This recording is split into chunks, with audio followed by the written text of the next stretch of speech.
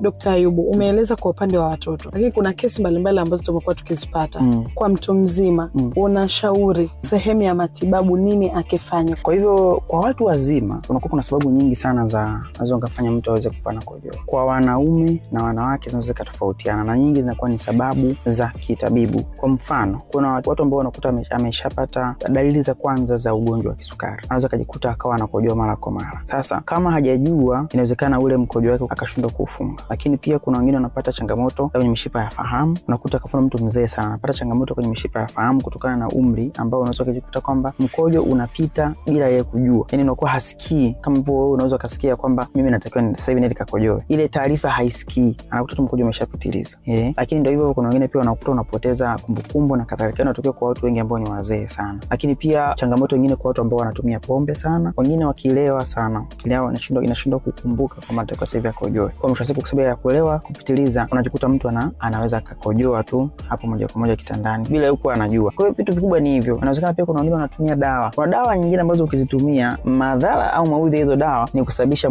mtu kukojoa sana. Kwa unakuta anatumia dawa, lakini maudhi yake hizo dawa ni kufanya mtu kukojoa sana. Sasa kama bila kuwa anajua akashindwa kujikontrol, hapo anaweza akajikuta kwamba amekojoa. Lakini kuna vitu vingine ambavyo vinaweza vikatukuta hata mimi na wewe, hata kama una, una akili zako timamu kabisa, una mara nyingine unakuta umeota ndoto, unaota kabisa uko chooni na unajiona kabisa ukiwa uko chooni, na hiyo inatokea ukiwa umechoka sana. Ukiwa umechoka sana, mwili wako unataka upumzike, unafikiria yale mazingira kabisa ambayo yani uko, uko kama unafanya hicho kitu. Kwa wanafunzi wataniambia hichi kitu kinaweza kuwa kimeshawahi kuwatokea. Unakuta alikuwa anatakiwa asome, amke asome, lakini akaanza kuota kabisa ameamka, yupo kwenye meza anasoma, lakini kumbe amelala kwenye ndoto. Kwa hiyo inaweza ikatokea pia mwili unaweza uka- ukatengeneza ukasimulate kitu hicho, kwamba ukajihisi kabisa kwamba upo unakojoa, unajiona kabisa pale upo unakojoa, ni mtego, unakuta umekojoa kitandani. Kwa moja moja inatokea. Na kwa wanawake tunaweza tukaongea vitu vingine vingi kama hivyo, unaweza kuta wengine wanakuwa na fistula na kadhalika.